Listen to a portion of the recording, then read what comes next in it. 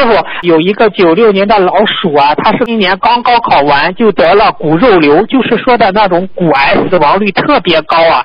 他妈妈也离婚，很不容易带着这个儿子。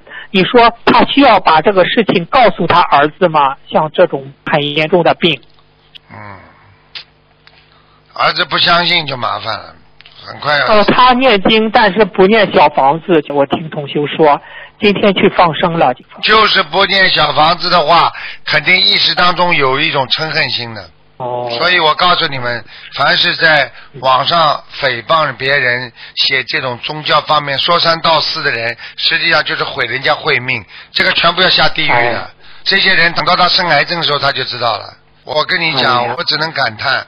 其实他们根本没有奈何正法半点的，他们只有自己在造口业。举个简单例子，对雷锋嗯这么好的话，你现在边上人骂雷锋神经病啊，公民钓鱼，你都可以骂，骂了之后雷锋还是雷锋，但是他自己呢，他就倒霉了，懂了吗？嗯嗯，是是是是，谢谢师傅开示。